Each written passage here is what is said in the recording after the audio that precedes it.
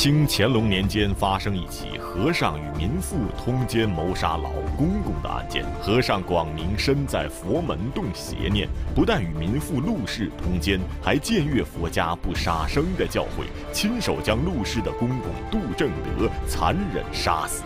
那么案发后，他如何想方设法逃脱罪责？公公杜正德原本是提着斧子想杀奸，却被和尚所杀。死后还被儿媳诬陷图谋不轨，谁能帮他洗清冤屈？他的儿子杜如意又会怎么做？法律讲堂文史版特邀南开大学百化教授讲述捉奸不成引冤案，上集。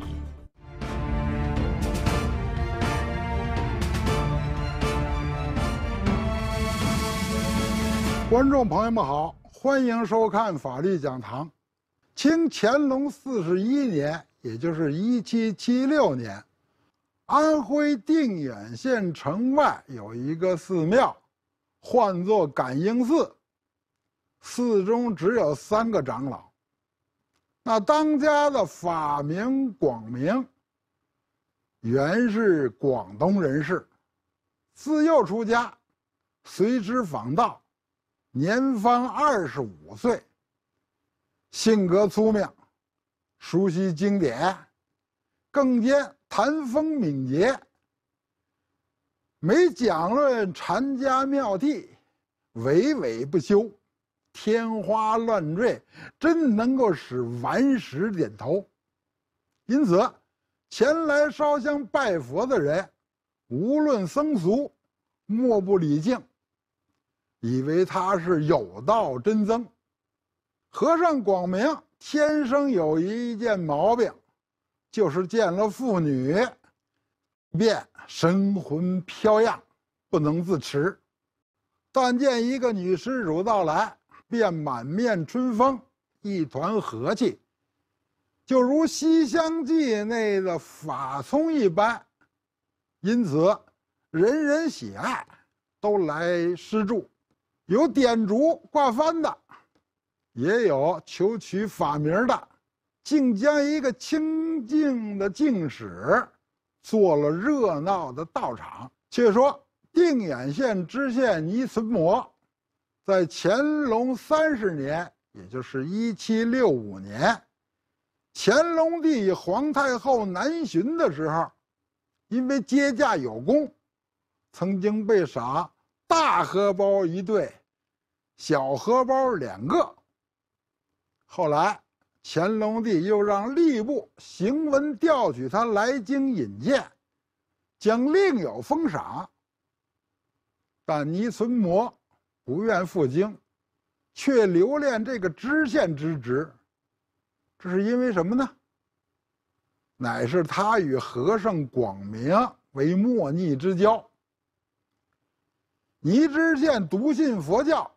善作诗文，与广明讲经论道，品文对诗，谈得投机。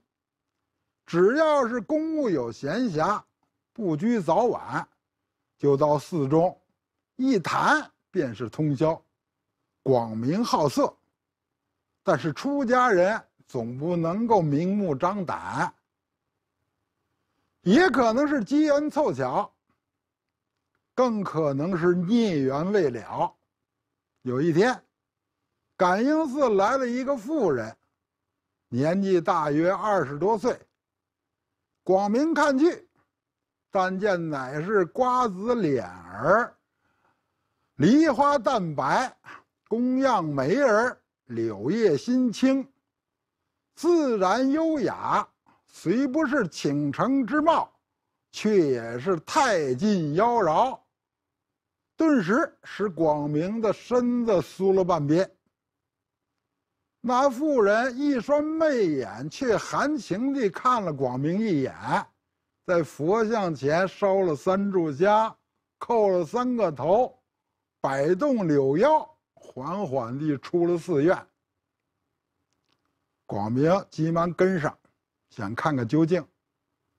但见一个后生牵着一头小毛驴。扶着他上了驴背，往县城走去。只此一面，就让广明得了相思病。晚上躺在僧床上，翻来覆去，一夜不能够合眼。忽然自然自语道：“除非如此如此，方可为近身之计。”次日，便敲着木鱼，到定远县城去化斋，其目的是寻找那个妇人。且说见过广明的那个妇人。娘家姓陆，丈夫杜如意，公公杜正德，婆婆已故。陆氏时年二十三岁，结婚五载，只生了一个女儿，年方周岁。如今与公公丈夫在一起生活。公公杜正德时年四十八岁。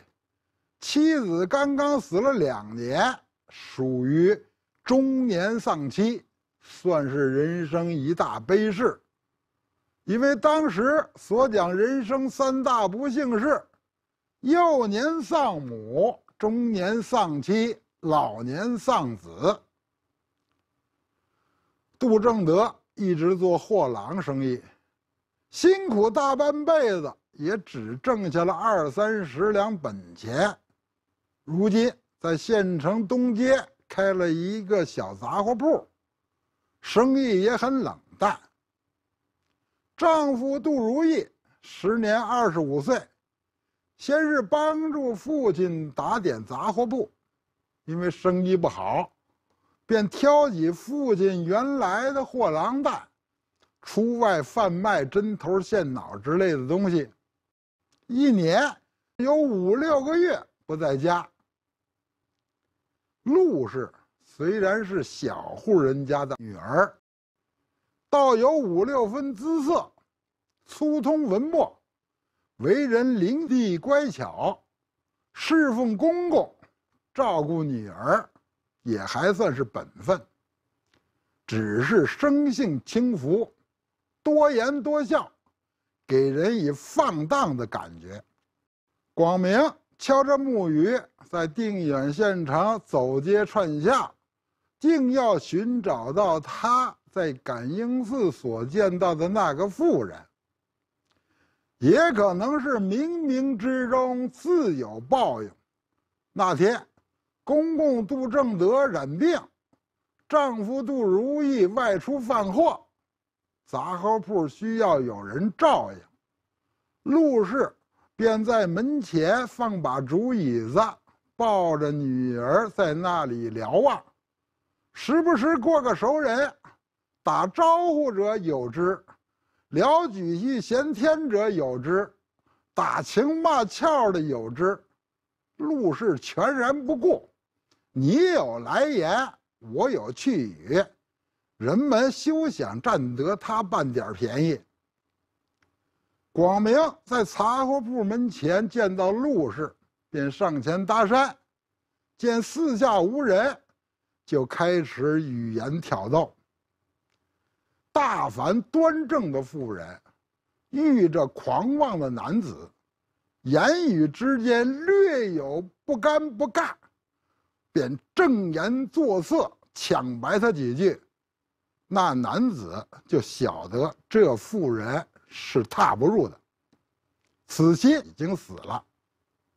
孰料，陆氏是个吃荤不吃素的人，你来挑逗，我全然不惧。男的找女的，想干什么事，你就直接讲出来。老娘我什么没有见过呀？见说的入港，广明便上前搂搂抱抱，做出无数丑态。见广明来真格子了，陆氏也是吃惊，急忙说：“不要如此，若是有人走来，岂不让人抓住把柄？你这个贼秃，定然会被人打个半死。”广明连忙四下张望，并无一个人影便把陆氏推进门去，让他放下熟睡的女儿。然后就要求欢。陆氏讲：“今日不方便，我公公还在后屋躺着呢。若是让他听见，岂不是让他来一个捉奸成双？改日再说吧。”正在此时，公公杜正德从后屋走出来，还是陆氏眼尖手快，把广明推到一边，高声说：“谭月。”你要买东西就买，我们可没有钱施舍于你。杜正德平日积德行善，见是个和尚，便从钱柜里拿了五个铜板，放在广明的铜钵里，说：“我们小家小户没有多余的钱，这些聊表心意，以后时常前来。”绝不会让你空手回去。广明只好说了声“阿弥陀佛”，单掌向前致谢，然后告别而去。广明和尚自从第一眼看到陆氏，便念念不忘，打定主意要将陆氏搞到手。他走街串巷，四处化缘，终于见到了朝思暮想的陆氏。自然是蠢蠢欲动，恨不得立刻就将陆氏占为己有。但是陆氏已经嫁作人妇，且有一个周岁女儿。虽然丈夫杜如意作为卖货郎四处游走漂泊在外，但是公公和他们生活在一起。就算陆氏生性轻浮，毕竟家里有长辈在，他有天大的胆子也不敢造次。如此一来，虽然广明和陆氏彼此眉来眼去。但是想要偷情也并非易事，那么接下来和尚广明会怎么做呢？陆氏又是如何瞒住公公与和尚广明勾搭成奸？法律讲堂文史版特邀南开大学白话教授继续讲述捉奸不成引冤案，上集。过几天。陆氏再听到木鱼声时，就拿出几个钱给公公，让他到酒馆里去喝酒。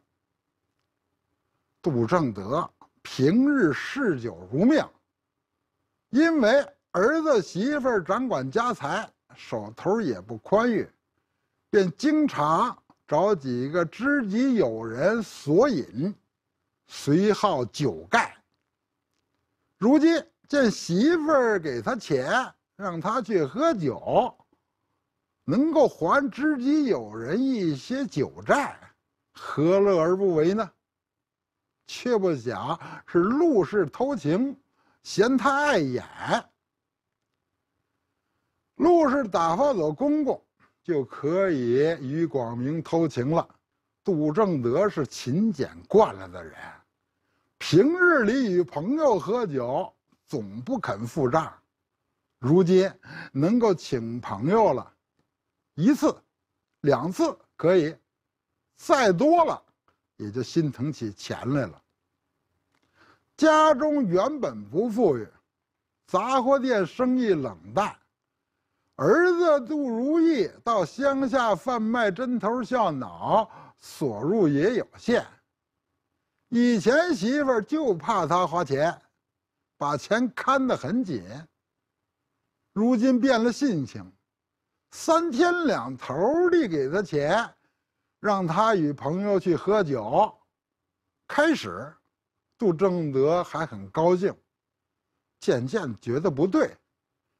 若是这样大手大脚的花钱，将来儿子回来，肯定会因为钱财之事吵闹。必定会伤父子之情，因此拒绝陆氏让他请朋友喝酒的请求，却不想陆氏因此恼怒，还是赶他出去喝酒。常言道：“要想人莫知，除非己莫为。”陆氏以广明兼好。街坊四邻都有风闻，只是不敢对杜正德讲。这一日，杜正德与朋友喝酒，在酒酣耳热的时候，有朋友讲，感应寺和尚广明三天两头到杜正德的杂货店，一进门，陆氏就把门关了，生意也不做了。想必是那和尚与陆氏有奸，才会如此。杜正德听得此言，勃然大怒，斥责朋友捕风捉影、胡编乱造，心里却将信将疑起来。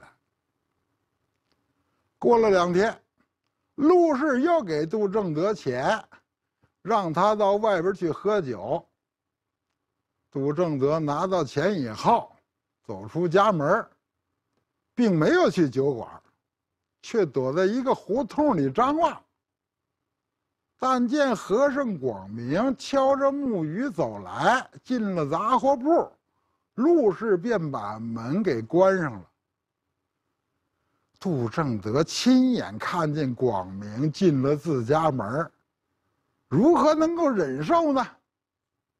过了一个时辰，还没有见广明出来，就走到门前，在柴堆前拾起一把斧子，用脚踹开大门，向后屋冲去，意欲杀奸。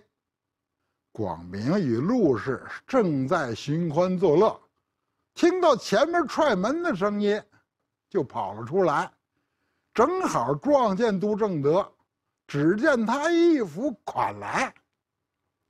广明是学过一些功夫的，看到斧子砍来，将身一侧，杜正德砍个空，待要转身，却被广明在背后踢了一脚，趴在地上，斧子也扔了出去。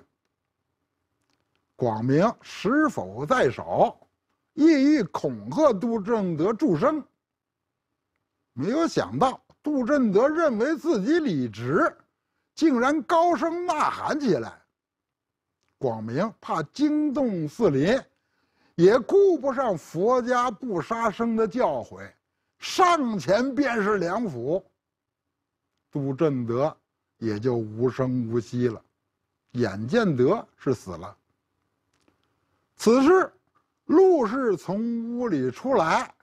见公公倒在地上，血流阴背，也不由得跌坐在地上。广明扶起陆氏进屋，让他坐在椅子上，安慰他不要怕。然后把杜正德的衣服脱去，放在陆氏的床上，顺手将带血的上衣。扔入灶堂里烧掉。广明处置停当，就对陆氏说：“如今祸已闯下，害怕也没有用，为今之计，全靠你配合了。将来我们才能够做长久夫妻。”陆氏此时神魂已经回来。听了广明的话以后，便说：“我一个富人家有什么本事，怎么能够配合你呢？”广明便如此这般地交代一番，最后给陆氏喝了口酒压惊，然后只身回到感应寺。和尚广明身在佛门净地，却是色胆包天。陆氏水性杨花，丝毫不顾及家庭和孩子。两人一见面就如干柴烈火，很快便勾搭在一块儿了。他们的奸情被周围人察觉后，陆氏的公公杜正德也眼见为实了。杜正德本想着捉奸，却酿出了一场命案。广明身为出家人，本应慈悲为怀，却用斧头将杜正德砍死。那么事发之后，作为杀人凶手的广明会想出什么法子逃脱罪责？公公死了，陆氏又如何向丈夫交代？法律讲堂文史版特邀南开大学百化教授继续讲述捉奸不成引冤案，上集。却说杜如意已经出去半个月了，那日回来的早，刚刚进门，就听见已满周岁的女儿哭泣，其声音嘶哑，像是哭了很久。待走进后屋，却见陆氏呆呆地坐在椅子上，孩子坐在桌子上哭，他根本不管。便上前把女儿抱了起来，边哄边问陆氏：“这是因为什么？”只见陆氏是鼻涕一把泪一把，哭着说：“还不是你那丧尽天良老爹干的好事！你有本事问你老爹去。”杜如意说：“我爹怎么了？他现在在哪里？”陆氏指了指床。杜如意走过一看，见老爹赤条条地趴在床上，脑后及背部血迹模糊，不由得失声痛哭起来，大声吼道：“这到底是怎么回事？是谁杀死了我老爹？”陆氏此时止住哭泣，恶狠狠地说。你那没廉耻的老爹，趁你不在家就来我这里趴灰，我岂能够干那无耻的行径？他就逼我，说我要是不从，就用斧子劈了我。我岂怕那个老不死的，夺过斧子就把他砍了，现在还趴在床上，你看怎么办吧？把街坊四邻都喊来。让他们评评理。杜如玉听到父亲趴灰，也是有些气短，但不能够认同此事，便说：“我爹不是那种人，定是有人故意栽赃陷害。你说是谁杀了我爹？若是讲不出来，别怪我对你不客气。”陆氏见丈夫说话有些气短，就知道他也相信老爹会干扒灰之事，便更加大胆地说：“你老爹是死在我床上，人是我杀的，你把我送到县衙，问我一个凌迟大罪，我也不怕。到时候就把你老爹老趴灰、老无耻的事情。”声张出去，让全定远城的人都知道，看你们杜家的脸还要不要？见陆氏声音越来越高，杜如意反而觉得理亏。虽然他不相信老爹会干出这种灭伦之事，但母亲已经去世两年，父亲还不到五十岁。身体强壮，也保不住会见色起意，不顾什么廉耻伦理。所以说，这人被杀死，总要报官勘验吧。陆氏说：“报什么官？你还怕别人不知道你爹趴灰，被媳妇儿杀死在床的事情吗？依我之见，买个棺材。”风风光光地给你爹发丧，就说你爹得了急症而死，这件事情也就过去了。杜如意此时没有了主意，反而听陆氏的安排，到棺材铺买来棺材，把老爹安葬在城外杜家的祖坟。杜如意安葬了父亲。就再也不外出做货郎生意，因为心情不好，杂货铺的买卖也不用心打理，却常常到酒馆喝酒，以借酒浇愁。看到杜如意心情不好，杜正德原来的那些朋友则免不得要把陆氏与广明那些不清不楚的事情讲给他听。杜如意虽然有些怨恨父亲，但毕竟还是亲生父亲，所以在得知陆氏与广明有奸情之事之后，立即回家质问陆氏，要弄清事实真相。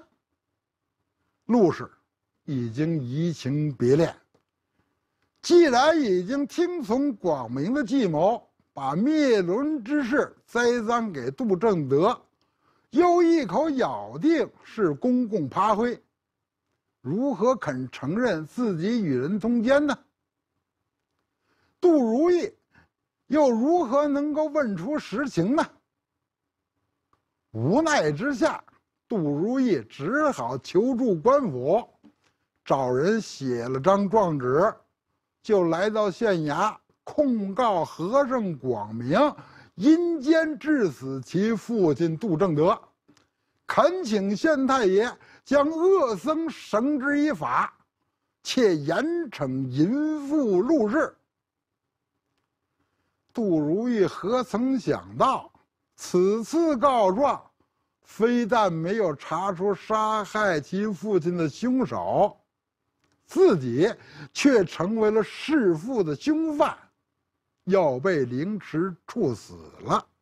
今天的法律讲堂就到这里，谢谢收看，再见。